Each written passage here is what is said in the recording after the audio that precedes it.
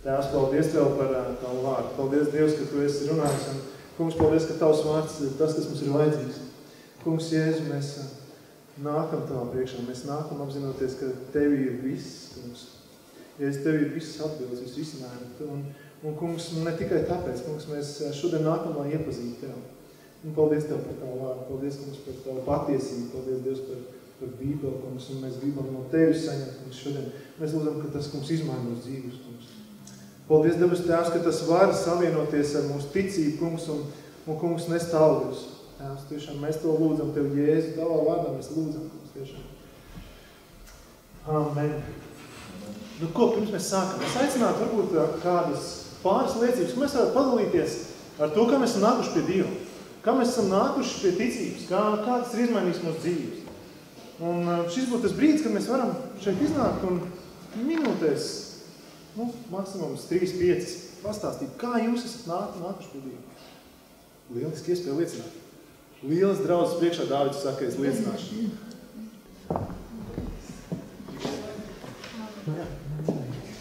Nu, es uzaugu neticīgā ģimenē, bet man bija fantastiski vecāki. Mēs esam četras māsas, augām laukos, daudz bija jāstrādā, vecāki mums ļoti mīlēja.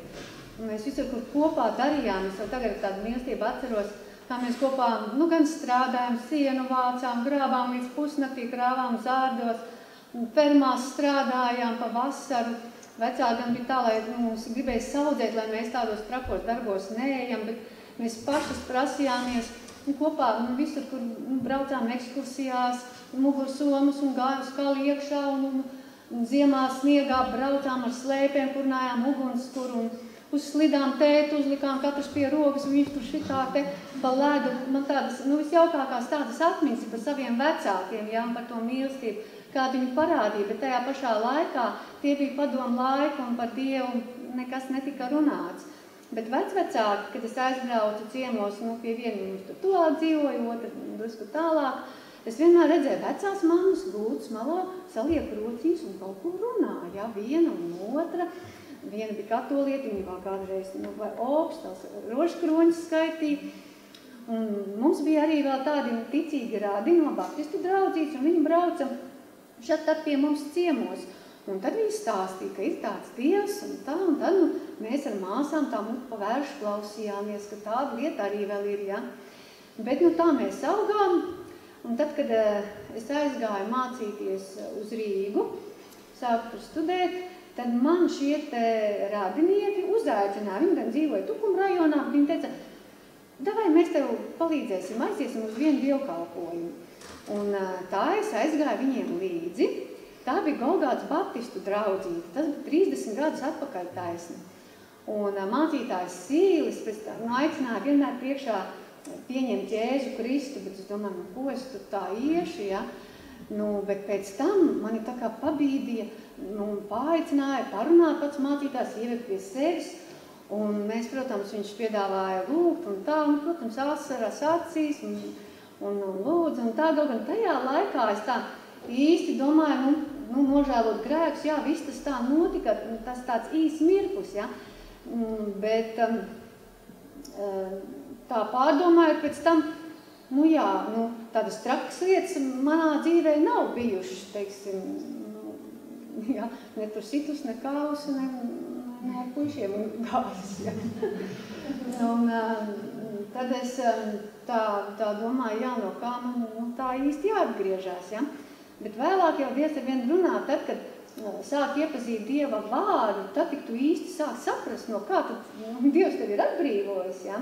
Un Dievs ir arī tā interesanti sargājis mani, vadījis. Un, um, tad, kad es jau biju kristiete, ja, man, man bija viena situācija, ka es nokļuvu avārijā, nu, ne avārijā, es braucu un tā kā piemigu, ja, un tā, kad es uzrāvos augšā, es skatos, ka es braucu uz vienu ceļu stāvu un, un es žigli rāvu uz pretējo pusi un nomā, nonācu pretējā grāvī. Bet man bija, nu, Dievs tā sargāja, nu, Bija ļoti jauki cilvēki, kas palīdzēja tikt ārā. Man, man nekādas vainas mašīna bija salieta asī. Un uh, vīši vēlāk teicām, nu, nu, kā tu tā, nu varēja, ja? Mašīnai nav ne vaina, bet kapotīs nevar aiztaisīt, tāpēc, ka viņi saliek pasi. Bet nekas vairāk, es pat turpināju tālāk savu ceļu ciemos pie mammas, un tā, ka mamma, pie mammas aizbrauc, es viņai neko neteicu, bet man ap visku bija tā kā indiāņu sapurēm šitā salmi sagājuši, jo tais laukā bija salmi. Es domāju, kā tas varēja būt? Mamma, ko tu tu biji? Nezināju, ko teikt, es nezinu, kā es tur izgāju cauri, ja? Ar cikot, Dievs sargāja. Un es gribu pieminēt arī vēl kādu lietu.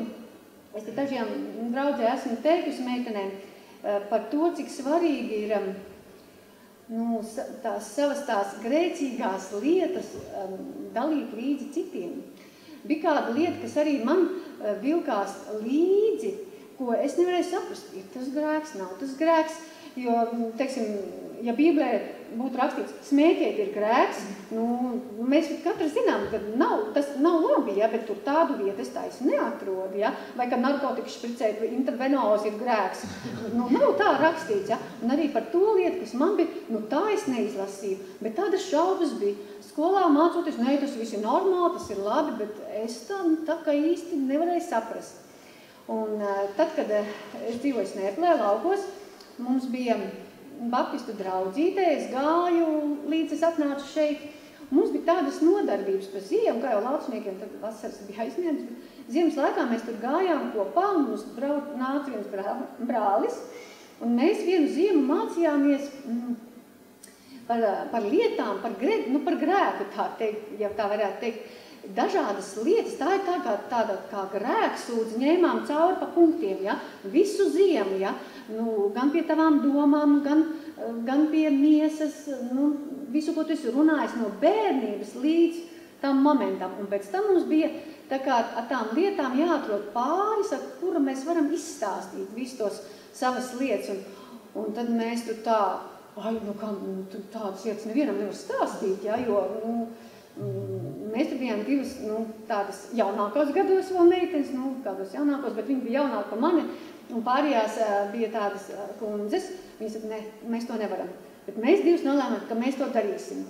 Un mēs sarakstījām veselu sarakstu, visu nu, pa punktiem, un sanācām uz pāris stundām kopā, lai viena otrai visu izstāstītu. Un tad tik tas nu, bija šausmīgi grūti, bet cik tad bija viegli. Un tā tā lieta, kas man nāca līdzi, ko es nevarēju saprast, ja? bet pēc šīm mācībām sapratu, nē, tā nav Dievam tīkama. Viņa vienkārši pazuda. Ja?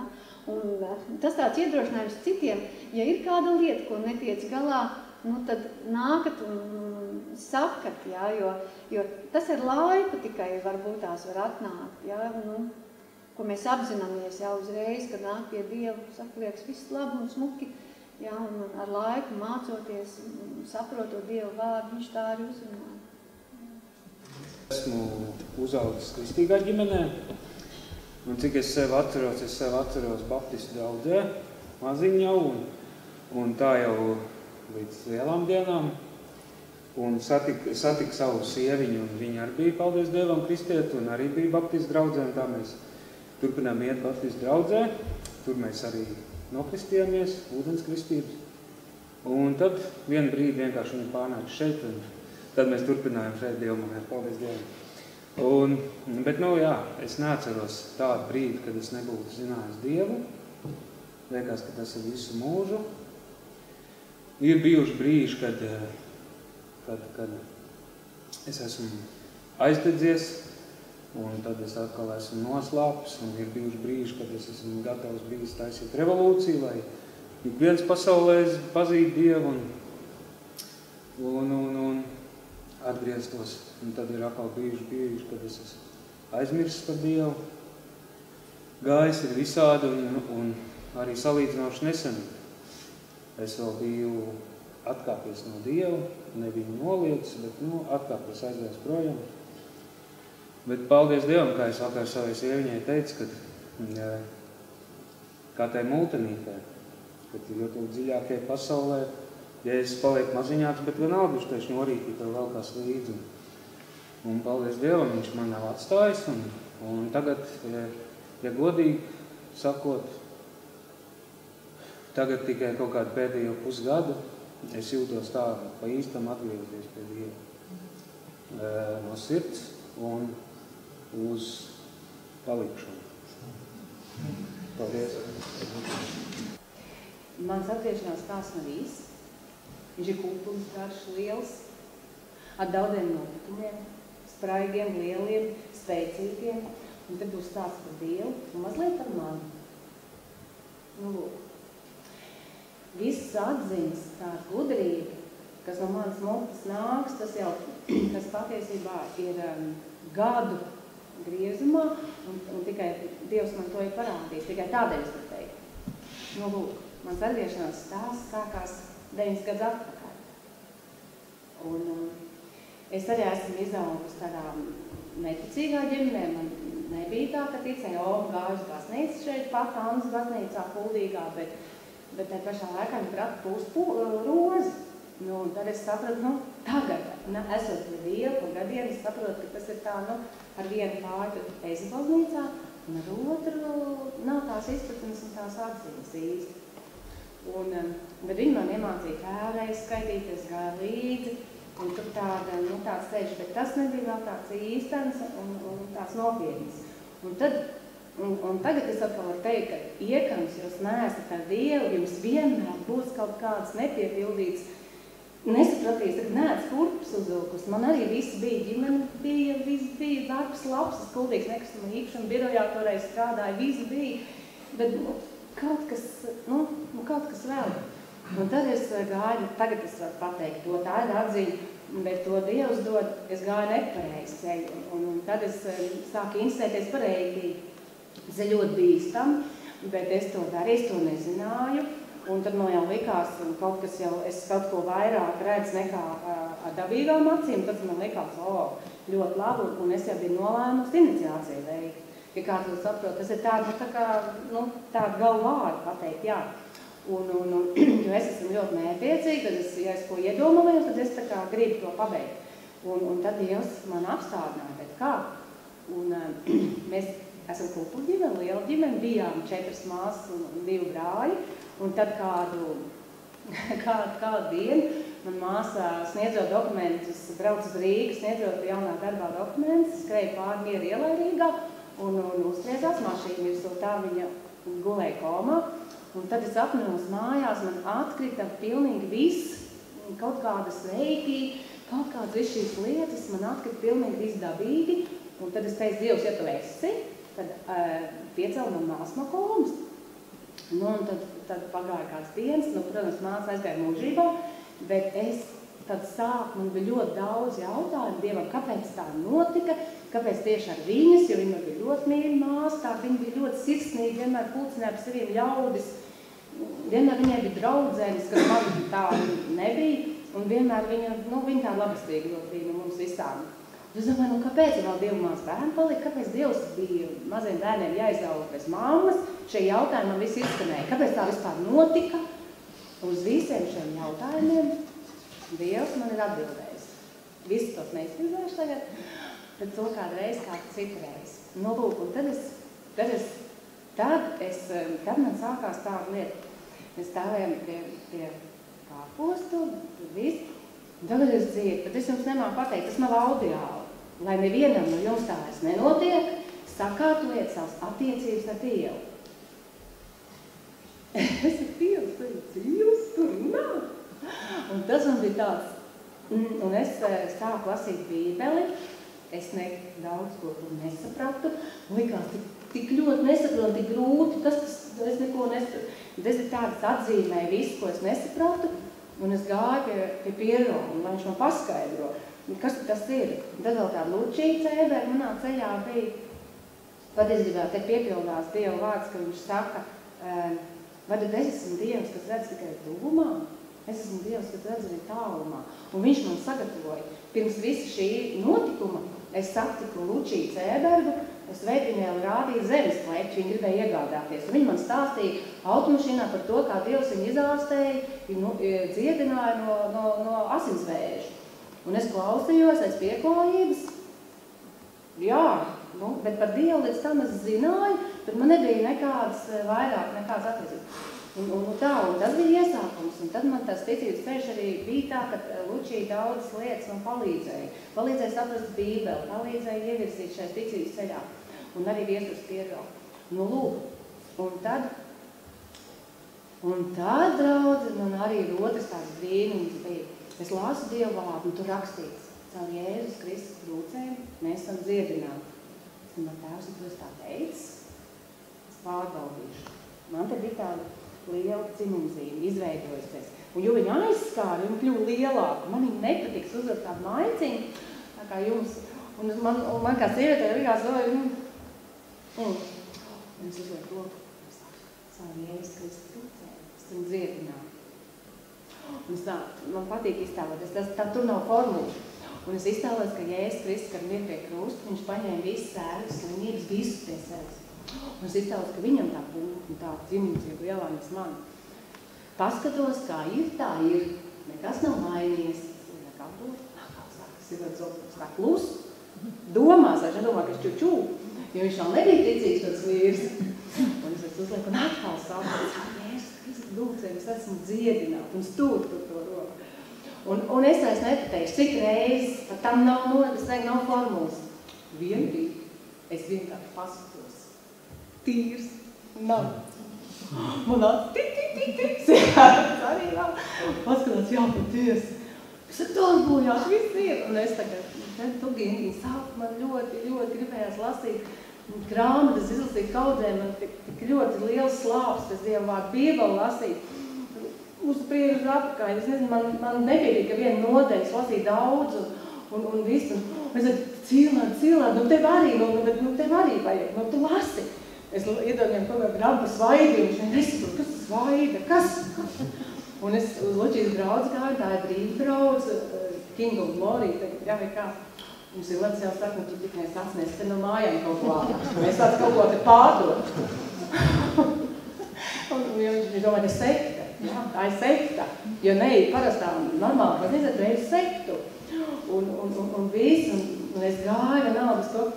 Un tad notika nākamais. Un es, es biju tāda ļoti jūtīga, un es tāda, tāda, jā, es esmu arī tagad, ja es esmu priecīga, ka jūs redzēsiet, ka es priecīga, skumi, ka jūs vismaz redzēsiet.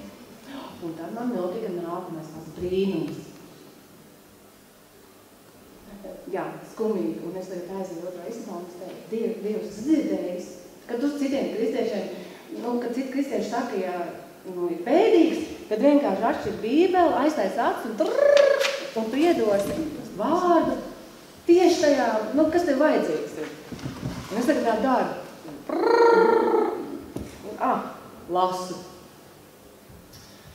Tas ir stāsts pirmā, pirmā ķēniņa vēstule, 21. nodeļa, kur bija stāsts par Nābotu un, un, un ķēniņa Ahtabu, kad ķēniņš Ahtabs gribēja iegādēties Nābata vīndās, viņš atradās eh, tūp pilī. Un Nābats teica, nē, nu es tev nevaru ķēniņu pārdot, jo tas ir man tēva mantojums. Un es tajā laikā nu, tā, tā nopietni izturēs, par tām lietām jau nevarēja. Viņš ne, negribēja tā teikt, ka tēva mantojums tas ir, ka tā ir viņa tēva zeme, ka viņš nevar pārdot. Un tas Ahtabs aizgāja savā pilī un bija bēdīgs, skumīgs. Un nāk viņa sievi Izabela, ķēniņu. Vai tu rīkojies, kā ķēniņam pienākās? Ej, no varu mēs dabūsim to nābat zemi. Viņš gribēja eh, paplašināt savu zemes robežas, un viņš gribēja ierīkot tur sakņdārs, un, un, un, un vēl pret nābatam teica, es tev samaksāšu, tie ierādīšu vēl labāku zemi, samaksāšu tev sudrabā, bet nābats ne. Un tad Izabela, Izabela to ķēniņu, nu tā, viņa pārņem to, to iniciatīvu, un vienā ar viltu tur iegūja nogālai nābatu un iegūja to, to zemes plektā. Es to domāju, kāds sakars?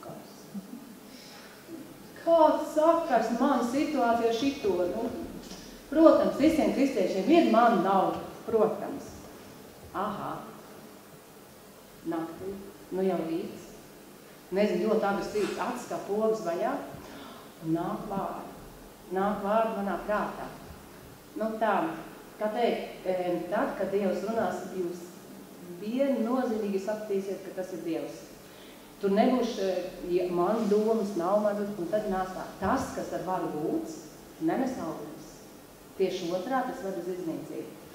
Un kad šie vārdi manī tā, tad es sapratu visu, sapratu to, mm, kad es cilvēkiem uzbāžos par to, kad, kad lai viņam jālas bībeli, viņam jālas, ka tas viss ir, un, un tā, tādu, tādu spāru, tādu, un tā. Un es visu sapratu to, to, visu to stāstu un visu to eh, situāciju par, par savu, kā es to daru. Un tad es rimos, un tad es rimos, un es lūdzu, lūdzu, un vienkārši lūdzu, klusībā lūdzu. Un tad vienā dienā šeit es gribu nokristīties. Un tā. Un, un, un tas tāds, tā, tāds stāsts. Un jā. Un šāds stāsts, daudz es Dievam ļoti daudz jautājumus uzdod, ļoti daudz un ļoti, ļoti skaisti un attiet, ir ļoti skaisti notikumi. Kādreiz es vēl pastāstīšu, kāda man bija notikums, kur Dievs ļoti spēcīgi darbojas manā dzīvē un uzdzīvā, uzvarēja vēlnu, vēlnu varu.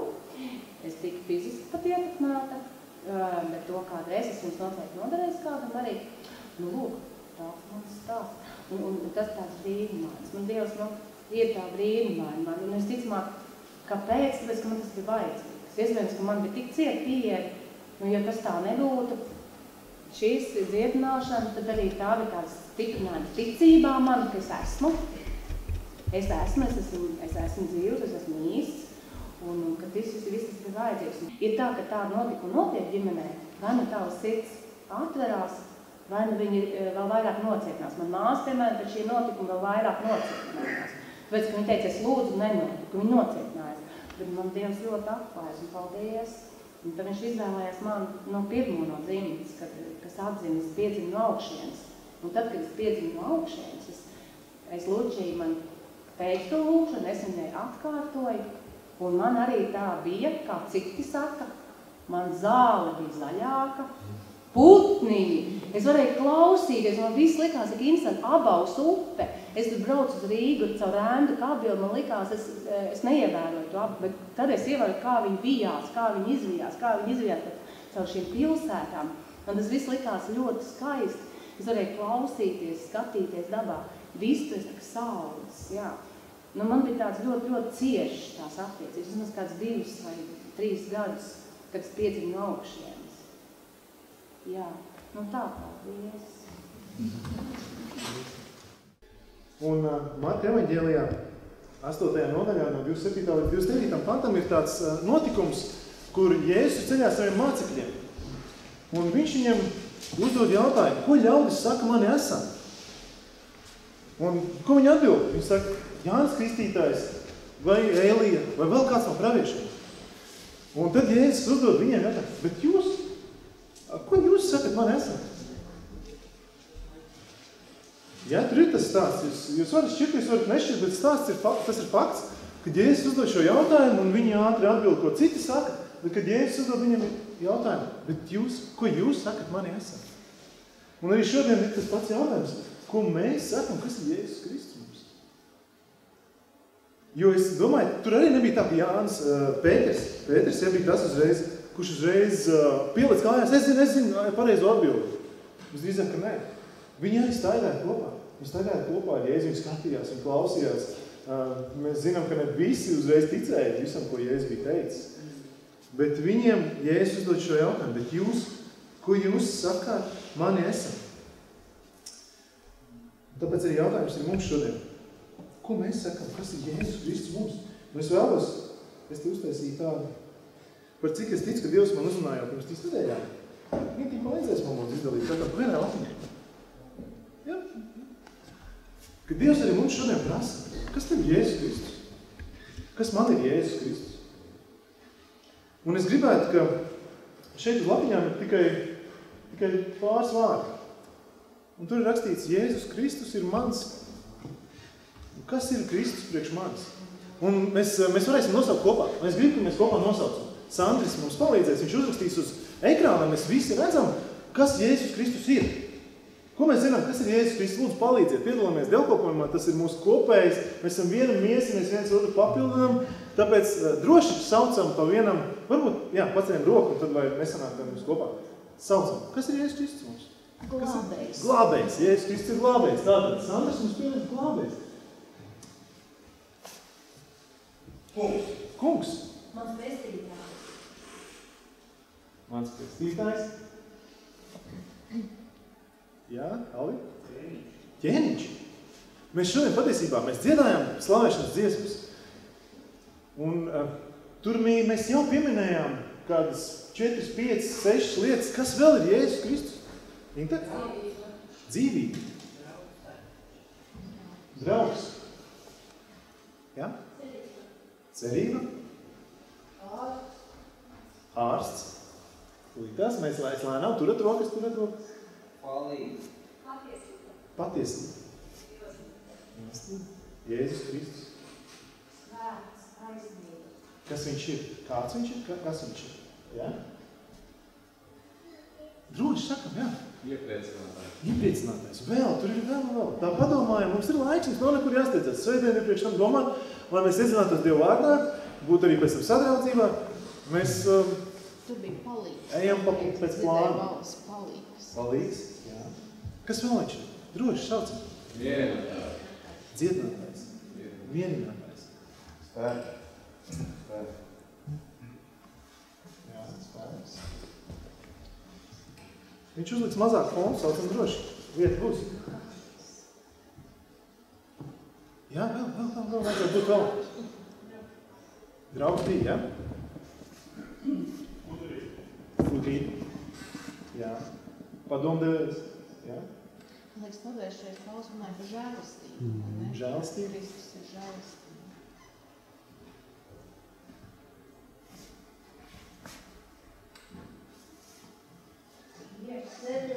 Miers.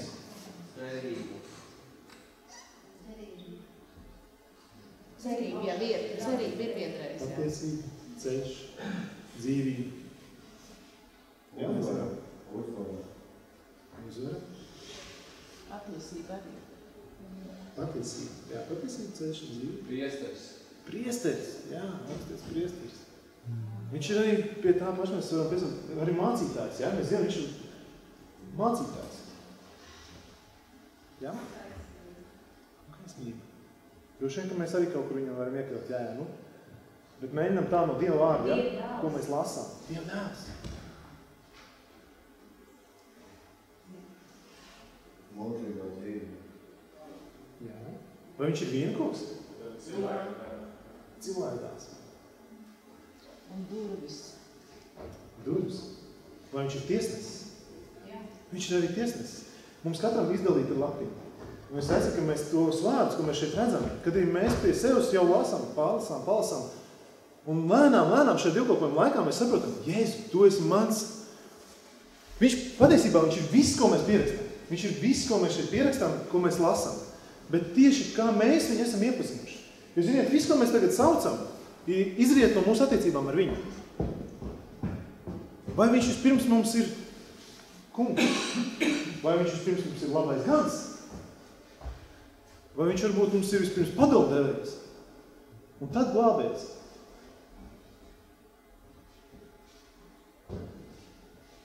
Vai viņš ir tiesnesis? Vai viņš ir mieru valdnieks? Vai viņš ir brīnums mūsu acīs? Draugs arī bija, jā. Lai šie vārdi stāv šeit. Un es aicinu, kad jums pašiem rodās savs, tas savs, tie savi vārdi, ko, kas Jēzus jums ir, ar ko jūs dzīvojat, kā Jēzus, kas Jēzus jums ir. Ja, un jums būs iespēja viņam vienkārši tā lapiņā, ja ir iespēja ierakstiet, atstājiet sev viņu drusciņu un redzat, kas Jēzus Kristus ir priekš jums. Jāņa evaņģēlijas sākās ar vārdiem. Ar kādiem vārdiem sākās Jā- Jāņa evaņģēlijas? Iesākumā bija vārds, un vārds bija pie Dieva, un vārds bija Dievs. Mēs lasām, ka Jēzus Kristus ir Dievs. Es zinu, ka es agrāk arī uh, piefiksēju, sanāk, ka cilvēki lūdz un vienā lūkšanā pasaka, Dievs Jēzu, man likās, vai tas iet kopā? Vai, tur, vai mēs nejaucam, vai, mēs nav, vai, vai tā nav tā vārdu spēle, kad mēs sajaucam Dievu ar Jēzu kopā patiesībā. Jēzus ir Dievs. Mēs lasām evaņģēlī pirmajā vārdu mums atklāj, ka Jēzus ir Dievs. Tālāk mēs lasām, Jēzus saka, es un tēvs, mēs esam viens. Un kad evaņģēlijos mums stāst par Jēzu, un, kad mēs lasām par Jēzu, un kad viņam pārmet to, ka viņš sev dara par Dievu, viņš, ne, viņš nesaka, nē, nē, nē, es tā nebiju domājis. Viņš ir Dievs. Viņš nav Dievs tēvs, bet viņš ir Dievs. Tad, kad Jēzus vēl runā cilvēkiem, viņš saka, viņš sev atklāt, kā es esmu. Kā es esmu. Un tas atkal parāda visiem vecās derības pazinējiem, rakstu mācītājiem, farizējiem, ka viens ir tikai tas, kas sev nosauc par es esmu. Un tas ir Dievs arī vecajā derībā, kad, uh, kad Dievs izved ārā no Eģiptes savu tautu. Jo Mūzes prasīja, kad es aiziešu pie viņiem, viņi man prasīs, kas tev sūtīs? Un ko lai es viņam atbildu? Un Dievs viņam saka, saka viņiem, es esmu tevi sūtīt. Un arī šeit Jēzus atklāja, kā es esmu. Viņš sev atklāja kā Dievu. Un arī tālāk mēs zinām, ka Jēzus Kristus, viņš tiek atklāts kā glābējs, kā Kristus, kā sūtītais, kā svaidītais, kā tas, kurš atvestīja mūs no grēka. Kā tas dēļ, kura mēs zinām, ka mums ir mūžīgā dzīve. Kā tas, kurš izpirk mūs no nāvas valstības. Viņš ir mūsu glābējs no grēka. Viņš ir mūsu kungs. Un eh, šie, šie visi raksturojumi vai īpašības vai tās šķautnes, kā mēs pazīstam Kristu, un mēs visi esam dzirdējuši tos vārdus. Bet tieši kāds ir viņš priekš mums? Un es gribu teikt, ka ikvienā no viņām mēs atrodam divas puses. Tās ir attiecības starp viņu un mums. Ja mēs, es paņemšu kā piemēru, šī īstenībā mēs droši vien varētu par katru no šiem um, raksturojumiem vai apgalvojumiem, mēs varētu droši vien veselu svētku klausīties un dzirdēt, un nevienu vienu, droši vien grāmatu, grāmatas ir sarakstīts. Bet kā piemēru, kāpēc es to pieminu? Es gribu, ka mēs šodien sev pasakam skaidri, Jēzus Kristus ir mans kungs vai, vai viņš ir mans Dievs, ko es bīstos? Vai kā piemēram, labais gans. Paņemsim kā vienu piemēru labais gans. Ko nozīmē, ka mēs Jēzus saucam par ganu? Viņš ir mūsu gans. Tas nozīmē, ka mēs dzirdam viņa balsi. Tas nozīmē, ka mēs gribam viņam paklausīt, ka mēs gribam sekot viņam. Ka mēs gribam sekot, ka mēs gribam iet visur, kur viņš, kur viņš mūs vēd. Un savukārt no viņa puses viņš ir uzticams. Un viņš savukārt saka, man šeit piemērot būtu 23. psalms, ka mēs atšķirt vienkārši un redzētu, ko viņš no savas puses kā, kā gans dara. Jo katram, katrai no šīm īpašībām, katrai no šiem raksturījumiem ir viņa daļa un ir mūsu daļa. Mums kā avī ir jāsako gan balsī. Taču viņš no savas puses, mēs lasām, atradīsim, 23. psalmā, Bībeles pašā vidū, tas kungs ir mans gans, man netrūkst nenieka. Viņš man liek ganīties zaļainās ganībās, viņš mani vada pie skaidra ūdens. Jau šeit mēs redzam, ka viņš no savas puses apsola, viņš mūs vadīs zaļainās ganībās. Kā gans, viņš mūs uh, vedīs pie skaidra ūdens. Viņš atspirdzinās mūsu dvēseles un vedīs pa taisnības ceļiem, jo viņš ir labais gans. Savu vārdu dēļ. Un ņemšies arī staigāja tumšā ielē, taču ļaunu nebīstos, jo tu esi pie manis, tava gana bēzna un tavas ganas izlas man iepriecina. Mēs lasām, ka viņš kā gans, ja mēs Jēzu varam nosaukt par savu ganu, viņš no savas puses izdarīs savu. Un tas nozīmē atkal, ka no mūsu puses mums ir jābūt tiem, kas sekojam viņam. Ja mēs saucam Jēzu par draugu, tad kāds draugs viņš mums ir? Kāds draugs ir mums Jēzus? Vai varbūt kā tāds internet draugs, mēs viņu zinām, redzam profilu, esam dzirdējuši, ko viņš dara, jo viņš tur ieliek kaut ko savā vārdā ir rakstījis. Vai viņš varbūt ir tāds draugs kā Dāvids ar Jonatanu? Tāds, kurš saistījās un ir gatavi mirt viens par otru. Kāds Jēzus Kristus ir draugs? Kāds Jēzus Kristus ir kungs?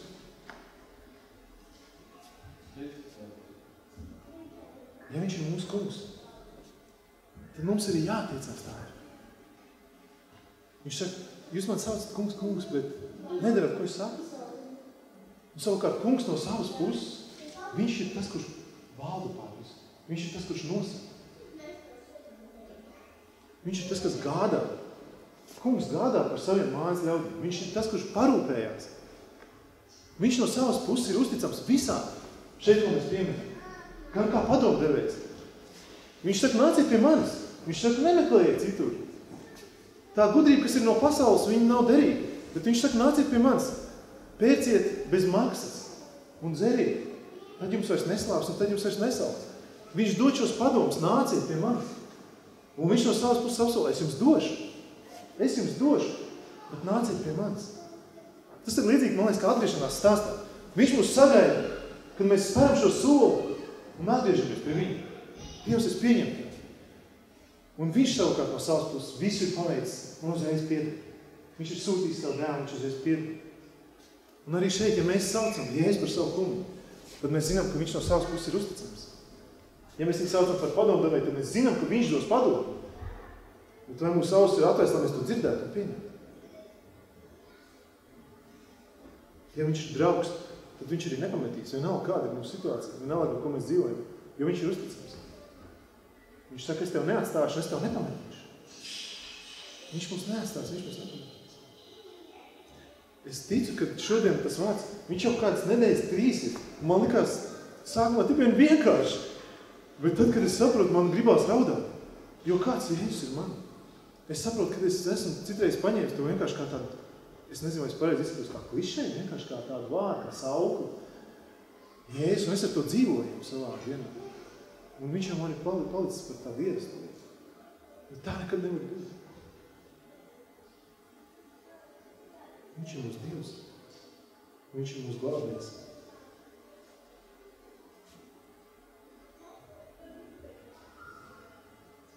Viņš ir tas brīnums, ko mēs lasām, kad ir kārdinājums atmest to stūri akmeni. Kāpēc brīnums? Brīnums ir runa par to brīnums mūsu acīs, ko Dievs ir devis par pestīšanu, ko nama cēlē ir atmetuši, bet kurš ir kļūst par stūri akmeni. Un tas ir šis brīnums, tas ir šis jēzus.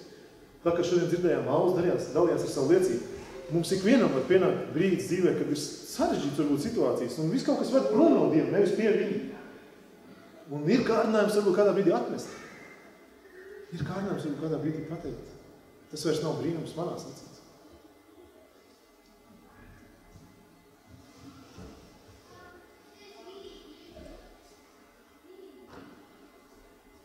Es zinu priekš sevis, un tā personīgi daloties ar jums, man Jēzus pirms ir kā, kā glābējs. Es viņu iepazinu kā glābējs, joprojām arī viņu, um, ar viņu dzīvoju kā glābēju. Un es, es ticu, ka tās attiecības pilnveidojās man un mainās, un es iespējams viņu varēšu kādā brīdī nosaukt visos tais vārdos un arī tā dzīvot un tā domāt, vai kā Dievs pirms uztvert, kā radītāji, kā visi iesākums. Bet vispirms viņš man bija kā glābējs, jo es atgriezos no saviem grēkiem. Un to es daru dienas, un tas ir vajadzīgs man. Jēzus Kristus man izglāba. Un es zinu, ka viņš ir tas aizstāvs tēva priekšā. Un arī šodien es esmu pārliecināts, ka ikvienam no mums ir kur atgriezties.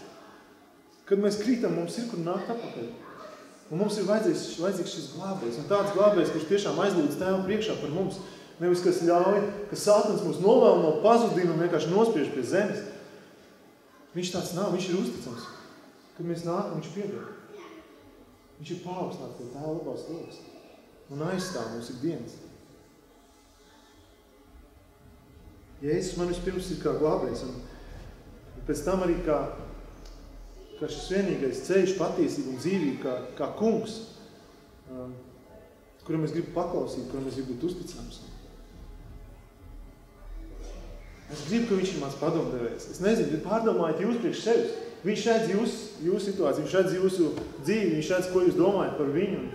Un, tāpēc arī aicinājums, es ticu šodien ikvienam, kas Jēzus Kristus ir man.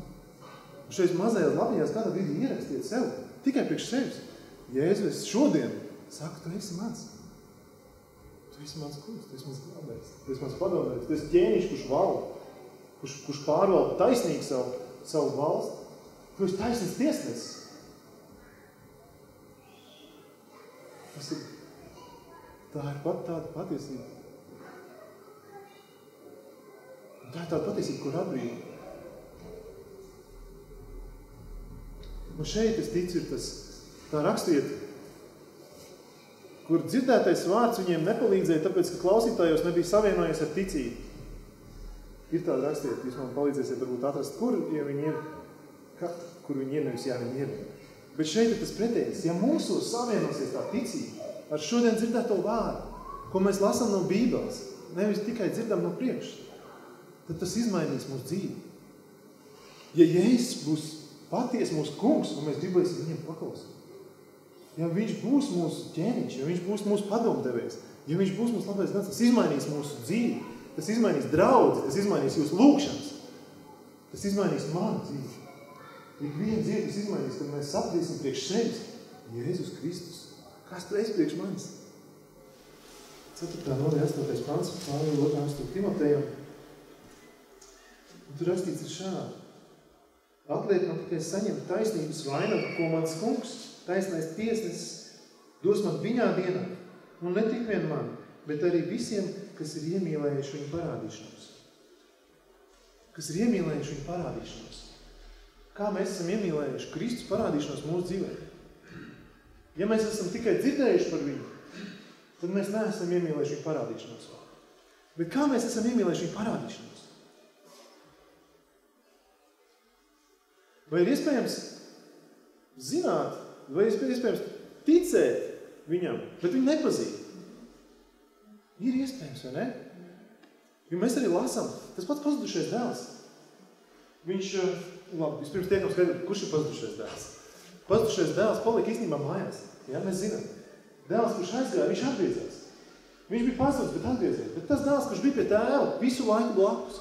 Mēs patiesībā lasām, ka viņš viņu nepazina īsti. Viņš viņu redz, viņš ar viņu dzīvo, bet viņš viņu patiesībā notiesā, pēc tam viņš viņam pārmet. Kāpēc tu viņam, kurš notriec visu naudu, visus, visu kaut kādās izdarībās, un tagad atnāc mājās, tu viņam no ko barot teļ, tu viņu apģēri, tu viņam vien to gredzenu. Viņš nepazina, tēvs ir. Viņš ar viņu dzīvoja dienu, dienu blakus. Vai tad viņš ar viņu nerunāja, vai viņš ne, neredzēja? Un vai arī mēs nevaram dzīvot ar Jēzu un kāds ir īsti, es viņu nezinu. Kāds ir īsti Jēzus, es nezinu. Vai arī uh, Filips saka, nē, ne šis Filips, bet Filips saka, rādi mums tēvu, viņš saka Jēzu, tad mums pietiek. Viņš cik ilgi jau bija kopā ar Jēzu dienu dienā. Un viņš viņu nepazina.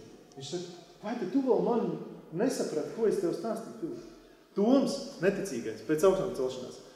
Kamēr neredzēšu un nelikšu, ne rēdas rokās, ne redzēšu ar savām acīm un pirkstus nelikšu sānos, neticēšu. Kaut arī Jēzus visu jau bija pateicis. Vai tad viņš nezināja par Jēzu? Vai viņš nedzīvoja kopā ar viņu visus tos gadus? Viņš viņu pazina. Jautājums, kā mēs pazīstam Jēzu? Vai tiešām, jo tad, kad, tad, kad mēs iepazīstam Jēzu, kā jūs teicat, šim vārdam jāsavienojas ar ticību, tad tas izmainīs visu mūsu dzīvi. Tas izmainīs, izmainīs mūsu, arī tagad, ja pat liekas, man tas mainis, es, uh, no, man tas vienkārši ļoti tā kaut kur tā pašam pieķērs pie sirds, ka gribās raudāt, runājot par to, kas Jēzus ir man, jo es saprotu, ka es viņam uz tā nepazīšu. Es vienkārši apzinos, ka es viņam palīdzu. Un es šeit stāvu, un es šeit runāju ar jums, bet patiesībā esmu Jēzus.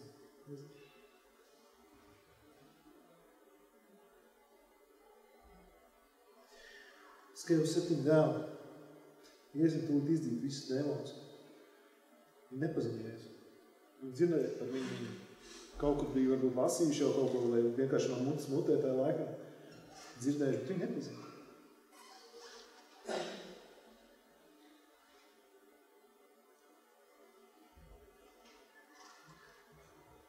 Filip, atnāc. Tu ļoti līdzīgs, es Jēzus.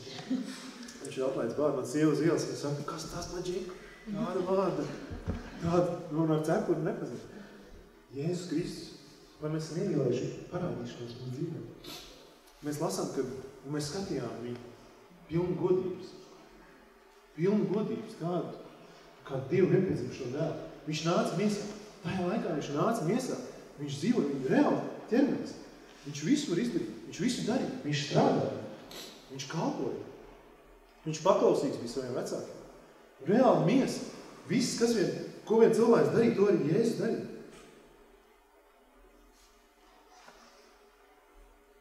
Un šodien tas prasa ticību. Šodien tas paprast ticību, jo mēs varbūt viņu neredzam miesā. Bet šitā miesa, kas ir Jēzus Kristus, viņš nomīja par mani, par tevi. Viņa asins tika izlietas. Un viņš neko sliktu nebija darījis. Tā, ka cik, man tas vienkārši tādu priekšstāvu nedaudz rāda, nu, mī, nu dzīvs. Un viņš nomira par mani. Viņš nomira par mani, un man nebūtu jāmirst. Viņš ir mans kungs. Un Jēzus atbild, ko viņš atbild? Jānim, kurš bija cietumā tajā laikā. Jo Jānis sūt pie Jēzus un prasa, vai tu esi tas, kam būs nāk? Un Jēzus atbild, ko viņš atbild savu saviem vārdiem? Tie darbi, kas šodien notiek, tās zīmes, tie brīnumi, tās, tās, tā glābšanas diena, tā ir šodien. Jūs to redzat. Tas liecina par mani. Tas liecina par, jo joprojām, ka Jēzus dzīvs. Viņš joprojām ir dzīvs. Pat ja es viņš šodien nevar fiziski aptiek, tad viņš joprojām ir dzīvs. Un viņš nomir par mani par tevi.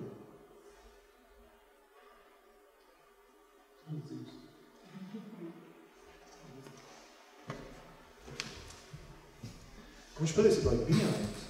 Mēs tā varbūt vieglprātīgi, vieglprātīgi, bet jūs neuzlūkojat Filips ne šajā brīdī, bet uzlūkojat to, to ķemeni, to miesu, to dzīvo, kas, kas bija un ir tas pats.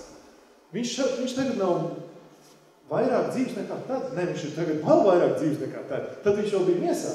Tagad viņš ir pārveidotā miesā. Viņš nekad vairs nemirst, jo nav vairs nav, nav, nav vairs par viņu. Bet viņš ir cienījums.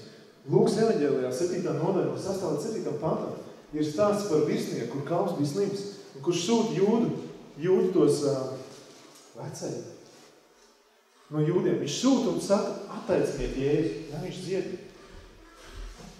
Bet, kad Jēzus bija ceļā, viņš sūta vēlreiz savus kalpus, viņš saka, lai viņš nenāk, jo es neesmu cienīgs, ka viņš nāk manā namā. Tāpēc arī es sevi neturēju par cienīgu nākt pie tevis.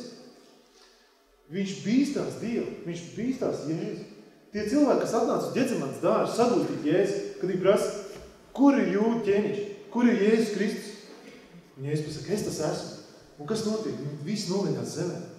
Vienkārši tā kā nopiļot. Viņi nokrīt zemē, jo viņi bīstās. Viņi saprot, kur viņi nāk patiesībā. Viņi ir redzējuši, viņi ir dzirdējuši. Viņi bīstās Dievu. Tad, kad mācekļi laivā zvejoja, un viņi nojauta tikai pa gabalu, tas ir kungs. Viņi saģēbās. Viņi saģēbās un metās ūdenī, lai nonāk pie Jēzus, bet ne, mēs pretēji droši. Esam laivā, jā, jālec ūdenī, viss fiks nost, un ūdeni iekšā. Viņi bijās. Viņi bijās kungu. Viņi bijās Jēzus. Viņi saģēbās un metās pie Jēzus. Viņi nonāca pie viņa.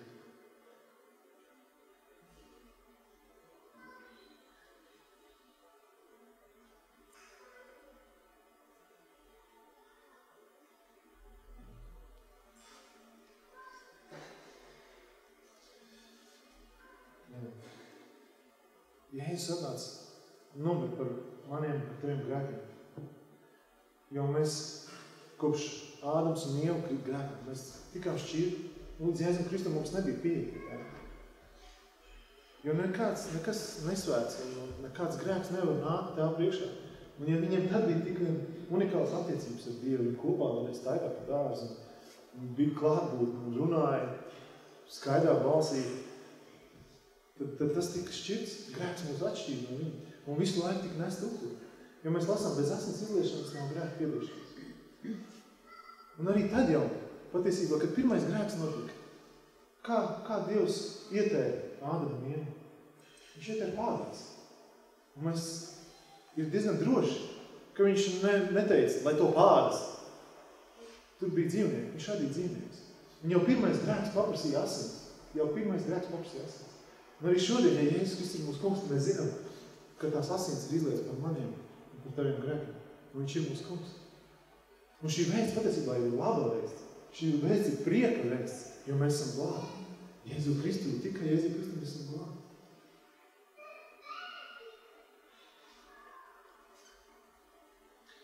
Mēs šodien baudīsim vakarēdien. Es aicinu, ka mēs joprojām pārdomājam, Jēzu, kas patiešām tu esi man. Ja es tevi saucu par glābēju, vai kungu, vai pestītāju, vai ķēni, dzīvi, par draugu, par cerību, par ārstu, vai patiesību, mīlestību, vai par spēku, vai tiešām es tā arī domāju, vai tā es dzīvoju, vai tā es rīkojos.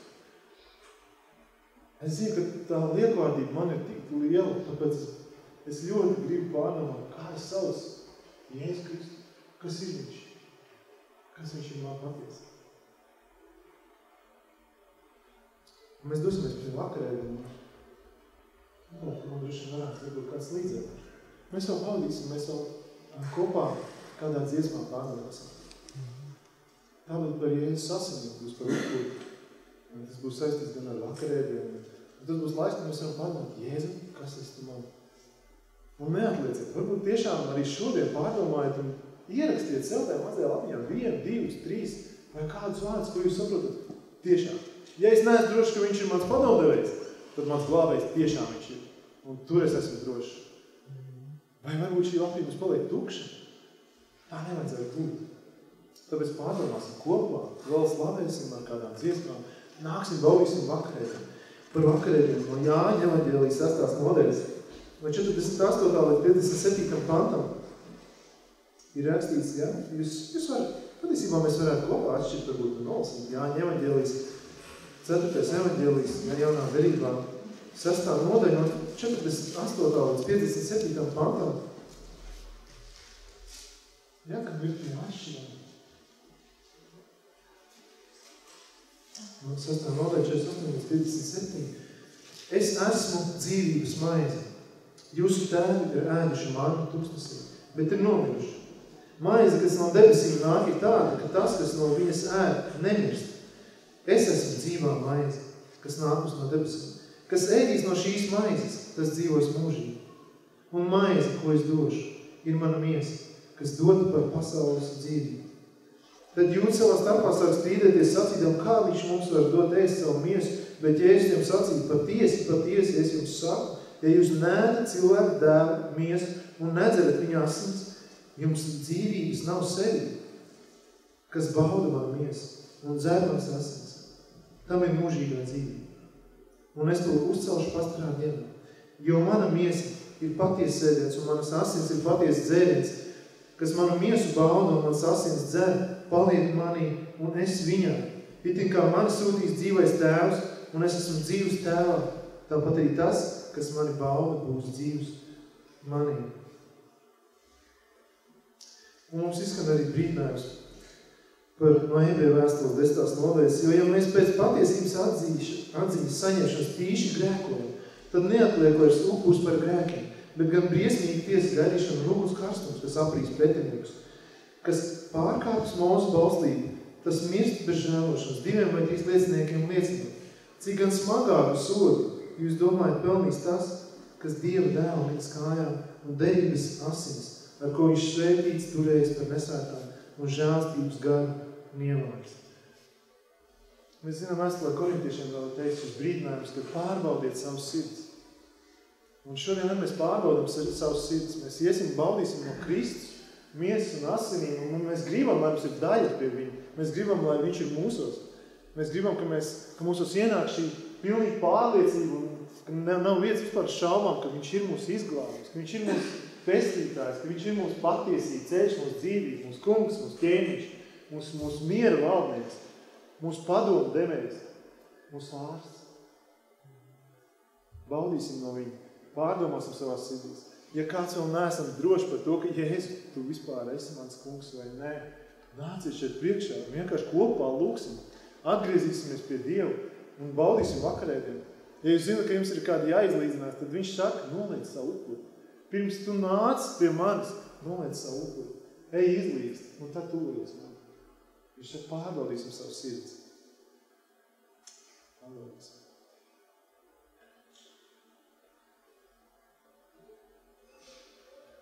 Bez Jēzus Kristus mēs šeit nebūtu. Bez Jēzus Kristus nebūtu šeit arī draudzes. Bez Jēzus Kristus nebūtu tam nekāda jēga.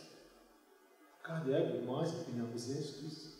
Vai lūkšanā, vai dievkalpojumā, vai sadraudzībām, kur mēs pagodam viņu vārdu, vai slavēšanā. Bez Jēzus Kristus tas nav. Nav tā vārds. Tas viss nenot. Mēs šeit nebūtu. Bet viņš ir dzīvs. Amen. Viņš ir dzīvs. Pārdomāsim savā sirdīs. Vēl kopā slavēsim. Jā, Robert, iesim vēl kopā, kopā slavēsim un baudīsim vakarētā. Šeit mēs katrs varēsim, jā, kad jūs esat izdarījuši šo izvēlu, nāciet, baudiet vakarētā. Jums ir vajadzīga aizlūkšana, nāciet šeit priekšā kopā aizlūksim.